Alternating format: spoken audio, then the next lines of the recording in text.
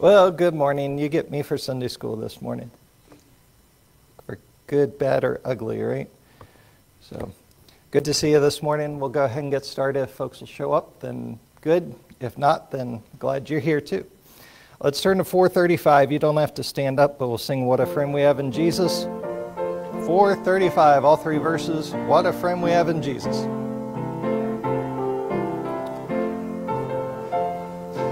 What a friend we have in Jesus, all our sins and griefs to bear.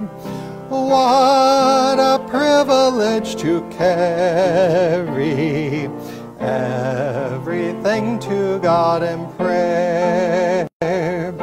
Oh, a peace we often forfeit. Oh, what needless pain we bear.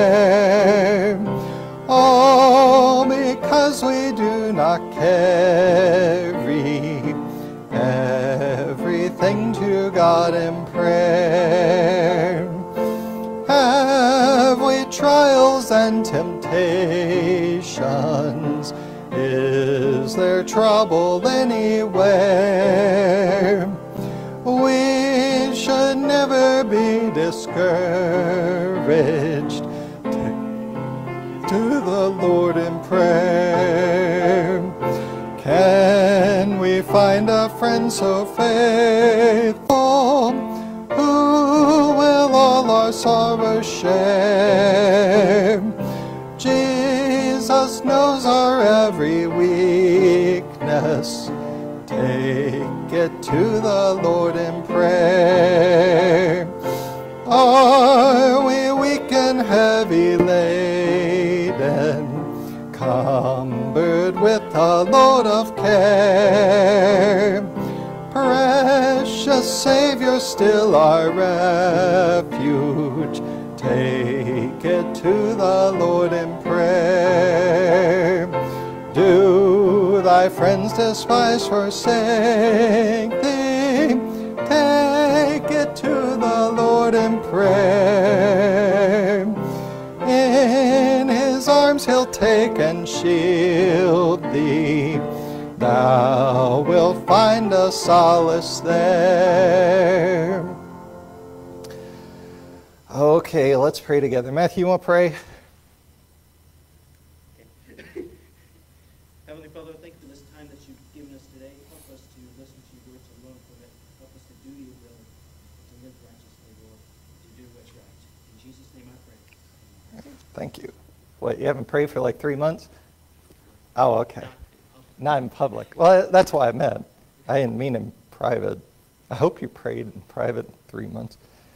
Anyway, okay, any prayer requests for today? Sarah? Hmm? Yeah, thank you. Please pray for my wife that she'll feel better. We don't know what she has, but it's hanging on there, so I'll just pray that she feels better. She's upstairs resting, probably watching a Hallmark movie right now. So now watch, she'll message on the thing and say, No, I'm watching you. But anyway. Anyone else say prayer requests? Anything that's come up? Okay. Well, do please pray for my wife.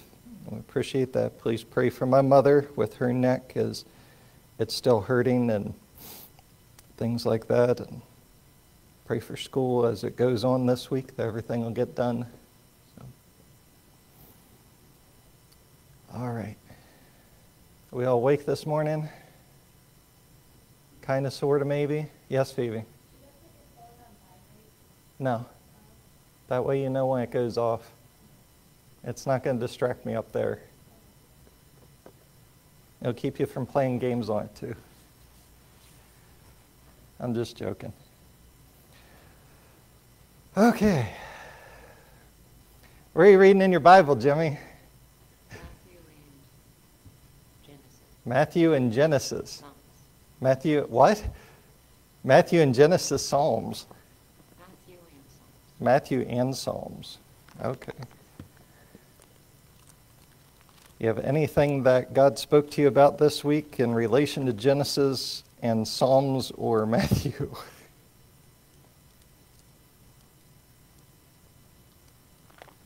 you didn't know I was going to do this, did you? I had a feeling. I didn't prepare. I can come back to you. Andrea, you got anything? I was reading in Mark and Exodus. You're reading in Mark and Exodus. So Jimmy, Matthew and Genesis, you're in Mark and Exodus. I got to be optimistic but not ignorant of the truth. Be optimistic but not ignorant of the truth. Where's that from? Exodus 6. Exodus 6. I forget what I read in it, But but that's what that's what you got. Yeah, it's good to be optimistic, and we can't be delusional about how things really are. We should want the truth at all times, right? Good. Matthew, what about you?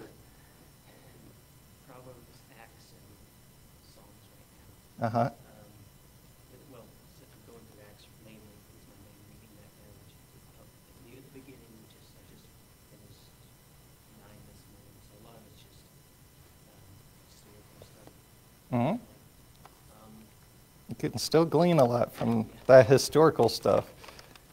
yeah, that hurts. Yeah. Anything interesting God spoke to you about? It's just reminding me, I guess the life of Stephen is one of my favorite, uh, one of the more favorite, I can't speak to it, one of the more favorite one, uh, stories with people, and just, hmm popped out of the movie. hmm About Stephen? Yeah.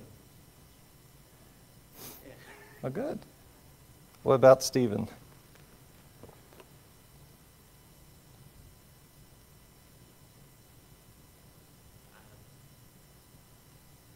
What, resounded with you about him? Definitely filled with Holy Spirit. Yeah, he was filled with Holy Spirit. That's true. Man greatly used by God and quickly persecuted, right? Yeah. Oh, good. Jimmy? I was reading in Ma- Matthew and Psalms, Matthew and Psalms, yes. and this I from Matthew. Okay. God, I need to listen to what people tell me and not just go my own way. Yeah. Listen to what people tell you and don't go your own way. That's good advice. Yeah. Anything else? Oh, good. Listen to what people tell you as long as it's not illegal, immoral, unbiblical, right? Yeah. Don't just go walking off cliffs and, yeah. Oh, good. Elizabeth, you have anything? I was reading in Proverbs, Uh huh. and um, basically a lot of it was the area of like the scorner, and basically be careful of people bringing you out of your law. And what's a scorner? Someone who goes out of their way to like bring discord to They're a person that rejects God's word and goes out of their way to recruit you to their evil cause. Yes. Anything else? That's basically my Okay. Sarah, what about you? What I was reading in Matthew 20, Uh huh. and that nothing, that I got that nothing can block the path of God's plan for our life. Yeah. That, that, that fact could either be reassuring. Yeah. Reassuring if you trust in God and His word, scary if you don't, right? Yeah. Yep. I, I've been in both places too before, but nothing to be scared about because He'll take perfect care of you. That's a good thing to learn. That's a good thing. Teresa, you got anything from your Bible reading? Not today. Okay. Phoebe, did I call on you? Oh, it's because you're all the way back there.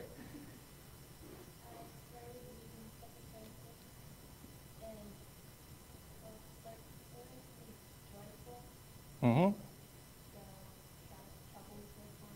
Mm-hmm. I know exactly where you're talking about too. Yeah. That we we can comfort others because of what God has done for us. Is that it? Yeah. That's I forget what chapter that is, but no, it's in oh it's chapter one? Okay. Well, that's good. Well, good.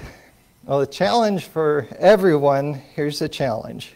And I'll make sure my wife follows up on this, and she'll gladly do so if, if um, she's well, which I would hope she is next week.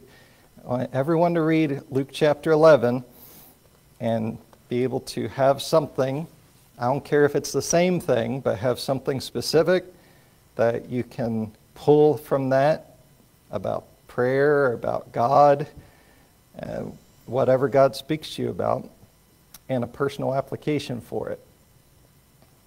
So, Luke chapter 11 is your assignment. I know we don't normally get that, but it'll get, get some folks out of a rut. And getting out of a rut's a good thing for us. I've been reading through the book of Acts, haven't read through that this year yet, and I read about Paul's whole dilemma that he got himself into in Jerusalem towards the end of the book, and the fact that those guys, if you read those chapters, they were really good at playing politics. And uh, Felix, I believe it was, I'm not in the chapter right here, but Felix or Festus, no, it's Festus uh, Felix was the governor before Festus. Festus took over for Felix as the Roman governor of Judea. And they let Paul be prisoner for years, not for a short time, but for years, for one reason they were playing politics. they wanted to keep the Jews satisfied. Paul done nothing to warrant being a prisoner, he'd not broken any law and these Roman officials knew that, and they just wanted to show the Jews a pleasure, as the Bible says. And my challenge was people play politics, don't do it. so we need to be biblical and not worry about the politics of our day. We need to stick by the scriptures. So, anyone else have anything else to share? No? Okay.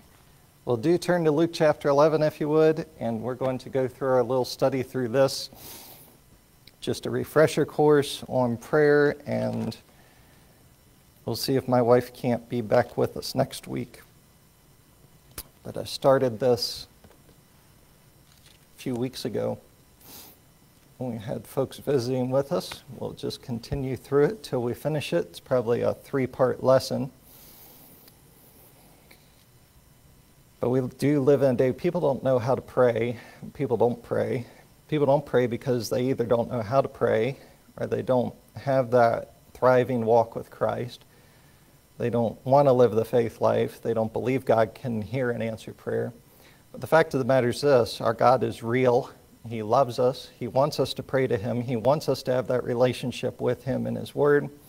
And He will answer our prayers as we, as His children, pray to Him and rely upon Him, submitting to His will. It's so important. And the more that God answers prayer, the more we will pray.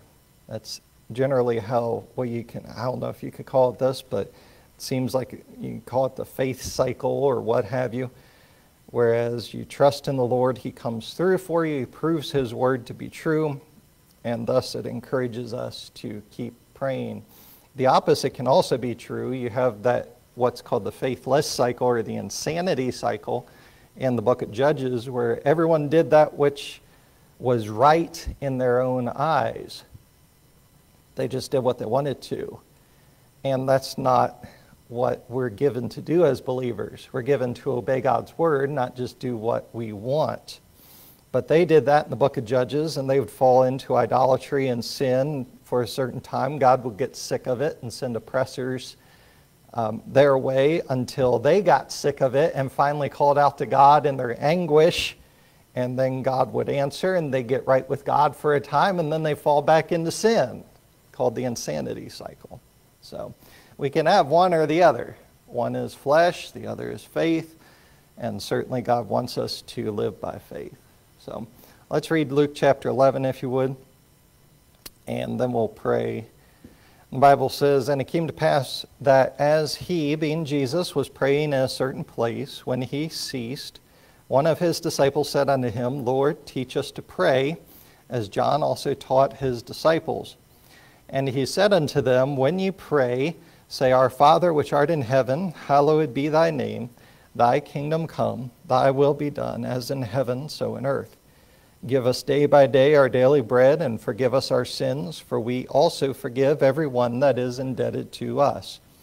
And lead us not into temptation, but deliver us from evil. And he said unto them, Which of you shall have a friend, and go to him unto him at midnight, and say unto him, Friend, lend me three loaves?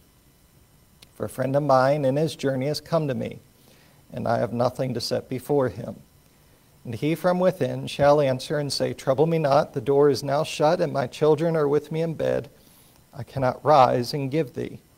I say unto you, though he will not rise and give him because he is his friend, yet because of his importunity he will rise and give him as many as he needeth.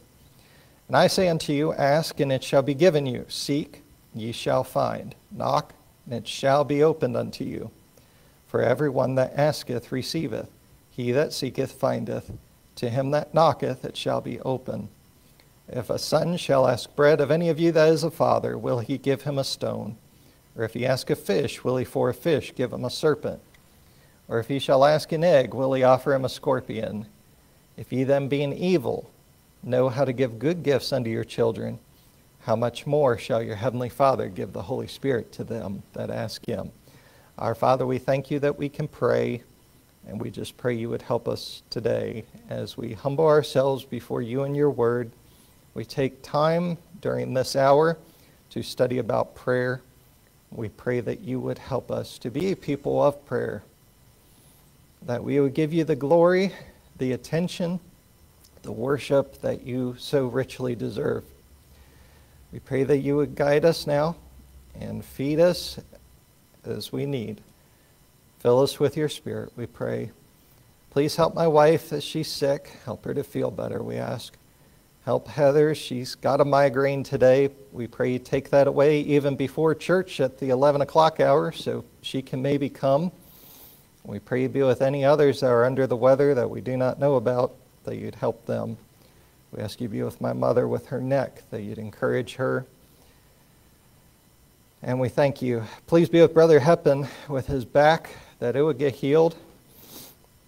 Father, we ask you be with the Matthews and the Jennies as they're going through various things as missionaries. And just pray you'd encourage these people. Thank you for hearing and answering our prayers. We do pray these things, surrendering them to your will, and in Jesus' name, amen. So if you remember the first part, the first part is we pray according to God's pattern to prayer. Jesus is praying. And the disciples have seen him pray, they've seen God answer his prayers. If you remember, they are in a faithless day, much like ours.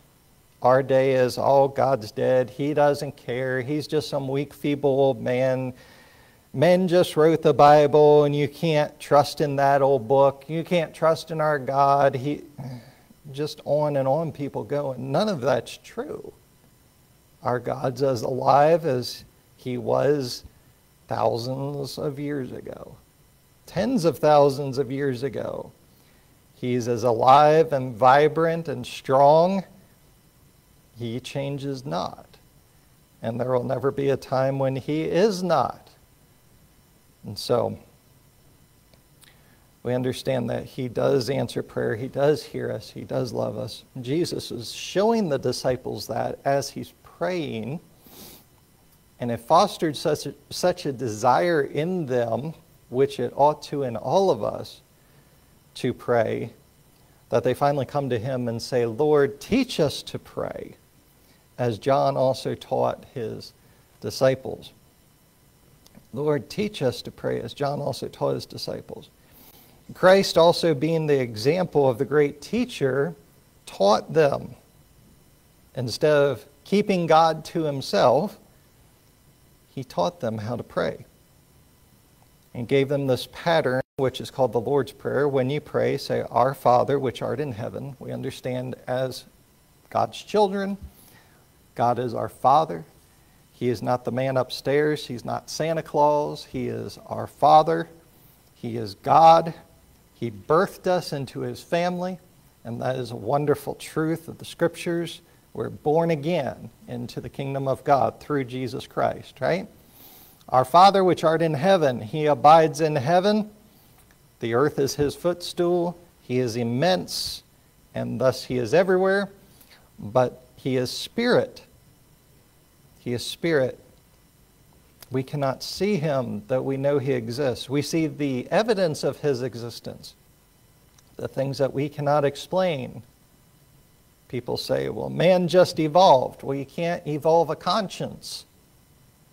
You can't evolve that which is spiritual. God gave us a conscience. We have creation. Man says, well, creation just evolved. Think about it. It's impossible for evolution to be true because if you miss one link in that whole chain, it just all falls apart. It's impossible. God created all things. There's clear evidence of intelligent design in the universe. It's not hard to see. We just have to be willing to see it and accept it. Not many people are, because if we reject evolution, then we have to acknowledge that there is a creator. If there is a creator, then that must mean we are his creation. And as his creation, we are subject to the creator, and people don't like that. People don't like authority, do they? I mean, just look at the world. But it doesn't change the truth.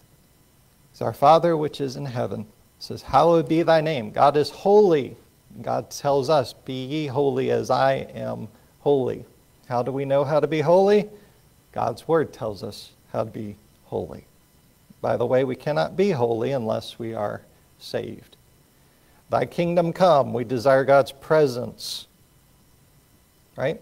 We want Christ to come and take us out of this old world because it has nothing good for us.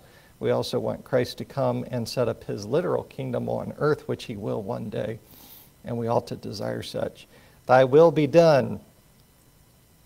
Thy will be done, as in heaven, so on earth. We ought to desire God's will to be done above all things because it's going to be done. God's will will be done how much better for us to go along with God's will instead of kicking and screaming, rejecting it, right? Thy will be done. There's nothing that God is out of control of, right? God is either permissive of, allowant of, or the direct cause of. That's what the Bible shows us clearly. Thy will be done, as in heaven, so in earth. Give us day by day our daily bread. We pray for per, uh, provision for our bodies and for our spirits. God would teach us from His Word. It's so important that we read our Bibles every day, that we glean from God's Word, we get personal application from it. We need it. Blessed are those that hunger and thirst for righteousness, right? Because Jesus says we will be filled if we do so. Forgive us our sins, for we also forgive everyone that's indebted to us. We ought to forgive. We ought to work to be reconciled if that's possible. But we can forgive. Forgiveness is mercy, right? As we see it in Scripture. It's not necessarily reconciliation because reconciliation requires two parties, forgiveness just requires one you and me, us saying, I'm not going to hold this over this person. I'm not going to hold a grudge. I'm not going to be bitter. Doesn't mean I'm going to be that person's best friends. If they're an abusive person, we shouldn't be around them if we can help it, right? But it means that we're not going to seek revenge. It means we're going to have mercy and let God be the righteous judge. Reconciliation's good. It's great if we can do it. We ought to seek that. But if the other person won't be reconciled, there's nothing we can do about that, right? So we ought to forgive because Jesus says if we don't forgive, then we're not being like him because he forgave us and he won't forgive our sins. lead us not into temptation, but deliver us from evil. Right? We're asking to not be led into temptation. We're asking to be delivered from the works of the devil. There's a lot in that pattern for prayer. How should we pray? How should we pray? Well, you have some of the how there in that pattern. The more the attitude of prayer, you have some of the attitude too in the pattern. The attitude is one of kinship and relationship, right? Not estrangement, not God, I don't really know you. That might be at the beginning when we're new Christians, new believers. Closer we get to God, we understand who He is and our relationship with Him. Attitude of surrender. You have the attitude of teachability and surrender, ultimately boiled down to humility before God. That goes a long, long way with Him. Long way. Not just God, but people too. Because if we're humble before Him, He can do anything with us. Anything. But if we just think we know better than God and we're prideful before Him, uh, we know what the Bible says about pride. God resists the proud, right? But gives grace to the humble. Attitude of humility, attitude of forgiveness, right? But as far as praying be, you know, how often should I pray this? Some people say, well, I should only pray it once and let it go because God doesn't want me to bother him. That's verse number five through eight that tells us that the attitude is not so or not to be so. People, again, have different views on God. And our view of God needs to be shaped from the scripture, not from our own minds. I mean, I, I know people that will not pray for themselves. They will not pray for themselves. They feel like it's selfish to pray for themselves when the Bible says otherwise. We should definitely pray for ourselves. We need all the help we can get. We should pray for other people. We should pray for anything, and we can literally pray for anything as long as it's surrendered to God's will. Right?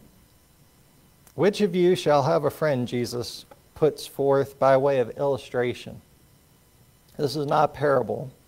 Parable is a heavenly tale or spiritual tale with an earthly meaning. Every part of a parable means something.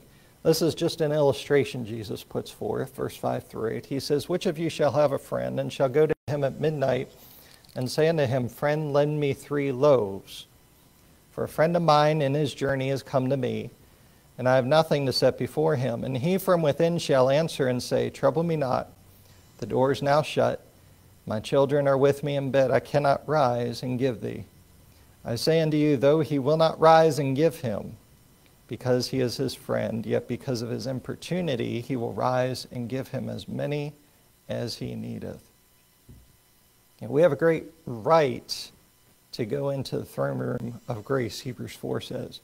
We can go boldly before the king. We're his children, right? But how ought we to petition the king for our needs? God says, often. Often. You have a burden on your heart, you have a need that you want to see God take care of. Feel free to pray to Him as often as you want, as often as you like. With an attitude of importunity, verse 8 says, unashamed persistence. People say, well, God will get upset with me. He'll get irritated. He'll be bothered. No, no. He's telling us to bother him. He's telling us to pray and pray often.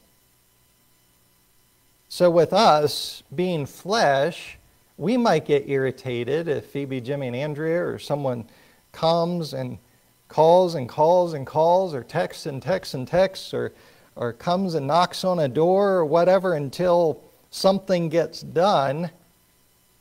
It must be important to that person, but we might get irritated But God never does. Because he doesn't see it as, oh, this person's bothering me again. I'll get to it when I get to it. Leave me alone. That's not his attitude. His attitude, his attitude is, I see that's important to you. His attitude is, because it's important to you, it especially will get an answer. I mean, can you imagine if Jimmy comes and says, Daddy, it's lunchtime and I need food and I can't make food for myself because I'm just inept for some reason? We know that's not true, but and I get to biz, being busy on a project and I forget, well, if hu- hunger is enough and if he's starving to death, which teenagers tend to make you think, and we know that's not reality, but if it's the truth, he's going to come and remind me until I get him food. Or if he's hurt himself, I'm going to take care of that right away. But if he's hurt himself and I forget, then he's going to come remind me, Daddy, I'm bleeding all over the floor or whatever. If he has a need or any of the kids have a need, they're going to remind that it's a need, a real need. And God says, treat me that way. Treat me that way. Because when we pray, it's usually not time for God to answer that prayer immediately. God does have a timetable for it. He also, you imagine, wants us to uh, wants to know that it's important to us instead of praying something once and then leaving it alone. And so he says, "Bother me," just like this man. You see, this man had a friend. He went at midnight man visited him. You say, well, that's kind of rude. Well, that story. Culture dictated that the friend of this man needed to put out food to be a good host, a gracious host to this man. If he did not do that, he would be an ungracious host. That's Eastern culture. Western culture is uh, just get whatever's in the fridge. Eastern culture's very um, you know, kind in that manner. And so he knew where the bread was. It was with his friend. See, God wants to be our first avenue, not our last. He wants to be the one we turn to first. That's not to say never go to the doctor, never go to the bank, never do X, Y, Z. It's to say go to God first, and He'll tell us what we should do. This man knew where the bread was. He couldn't go to the store, he had to go to his friend. God has everything we ever need at his disposal. He can meet every need that we ever have if we will trust him. And folks today don't want to. They don't want to. But he went to his friend and he says, A friend of mine in his journey has come to me. This we would consider this to be a small thing, right? I mean, three loaves of bread. The man's not dying for for hunger. He's not in pursuit being pursued by thieves or anything. It's a small need. God cares about the little things. Say, I have a headache. Well, pray about that. Maybe God will take it away. Maybe He, you know, take some Tylenol too while you're at it, right? but maybe he'll take it away all the quicker. I've got to take a trip. Well, put your seatbelt on, but also pray that God will help you not to get in a wreck. Right? Little things that we perceive to be little. God cares about those. He wants to be involved in our lives. He doesn't want to be the one the, the weird uncle that we reach out to when we need money that we never talk to otherwise. That's not a good relationship with anyone, is it? He wants to be right there with us. He wants to be our first point of contact. He wants us to talk to him often, to learn about him daily, right? Be right in the center of our lives right at the apex of our lives, not being estranged from us.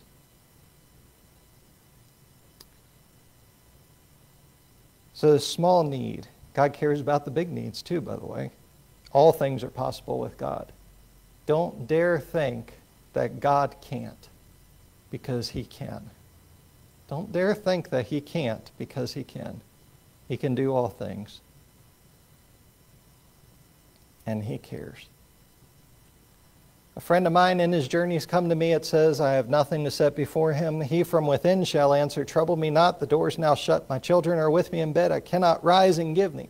Could, give thee. Could this man have gotten the bread? Yes.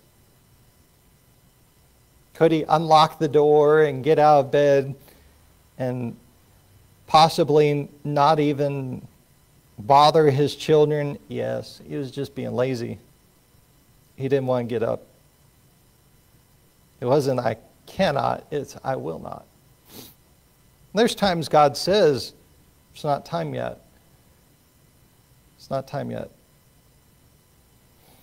But he says that I say unto you, though he will not rise and give him because he is his friend, yet because of his importunity he will rise and give him as many as he needeth. And you know this well by now.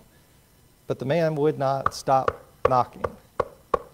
He would not stop reminding his friend. He would not leave the door alone. He risked the very wrath of his friend, maybe even to the degree of losing his friendship by beating on the door, waking the kids up, waking the wife up, making the man get out of bed, unlock the door, and give him the bread. It was important to him. If something's important to us, we'll keep praying. I'm guilty as anyone else. We forget about things. That's why it's important to write things down. But, folks, we need to pray. Do you have someone on your heart that needs to be saved? Keep praying. It may be that God will save them. Do you have someone on your heart it's away from the Lord? Keep praying. It may be that God will bring them back. Do you have temptations and trials like we sang, What a Friend We Have in Jesus? Keep praying. God will help us through those. Do you have pay and jobs to get, cars to drive, and clothes to wear, and you know how life is? Health to keep well, and all that good stuff. Keep praying. Keep praying. God will make sure we have exactly what we need according to his timetable. He wants us to bother him. He wants us to bother him. I don't like being bothered sometimes. Todd, you like being bothered sometimes? Yeah. God wants us to bother him all the time. Anytime. Because he loves us. He's always got time for us.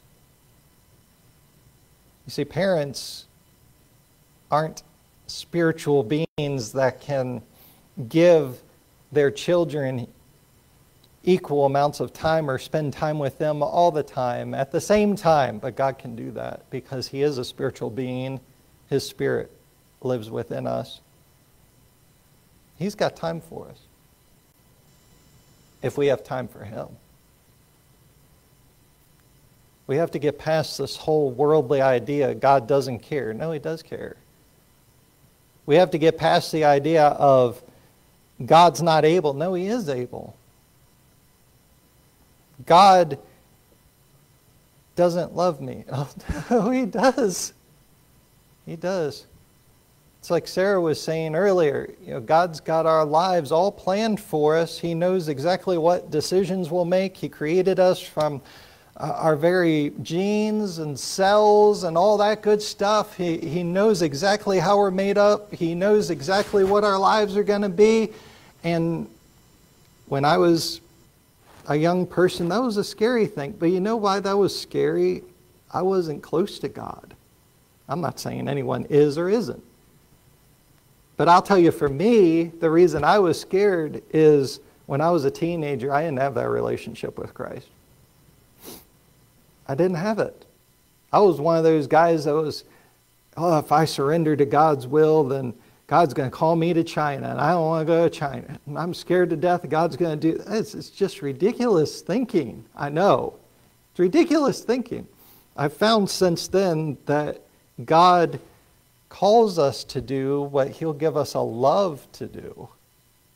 Right, Matthew? you found that out with engineering, didn't you? God calls us to do what we have a love to do, what He gives us a love to do. That's what we uh, we have the verse upstairs, and I've not yet memorized all of it, but we delight ourselves. The, the gist of is we delight ourselves in the Lord.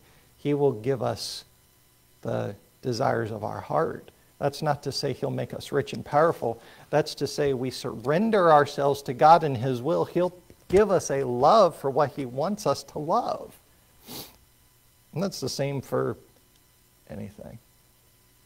I don't understand that, but it's true. The verse is true. But we have to keep praying. We have to trust Him. And we might get scared. We might be afraid because we've never done things before. There's times as 38 years old, I'm still scared to do things. but we have to go forward by faith.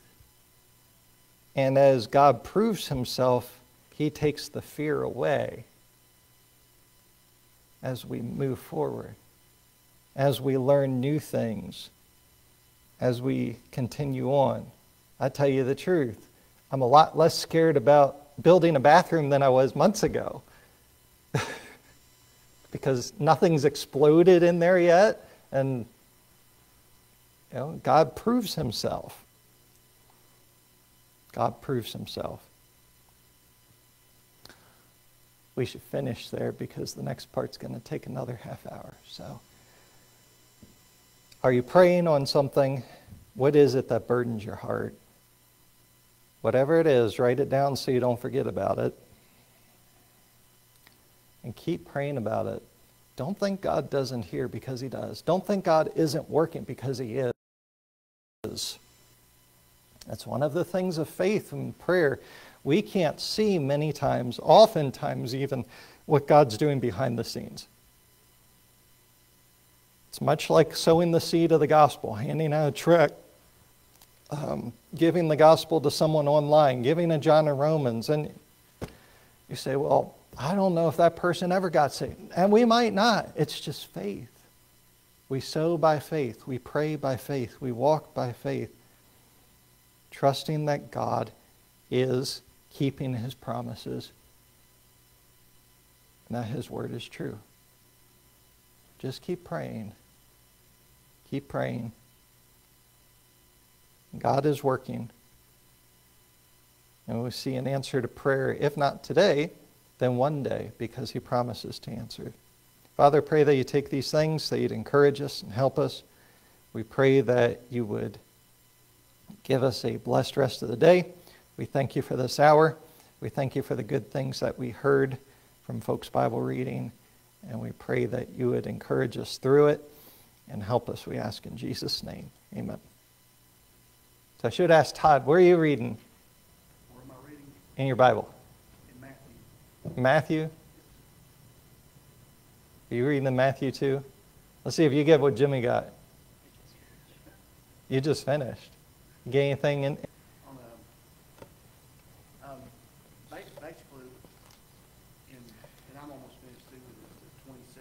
Uh huh. Matthew 27, where uh, um, Jesus just, they're, they're trying to entrap him, Right.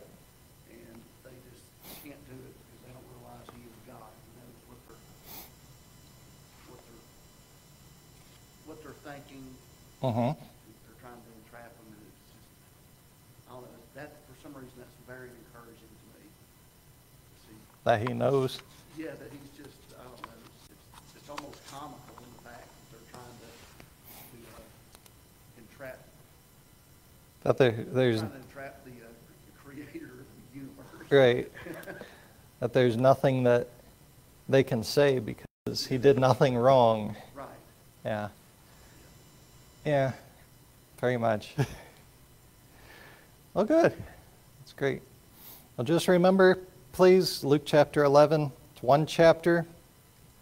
One chapter. Just read through that, and we'll especially go and go through that line by line next week, see what you got out of it. So it'll be an encouragement to you to read read on your own. But hope you'll read that.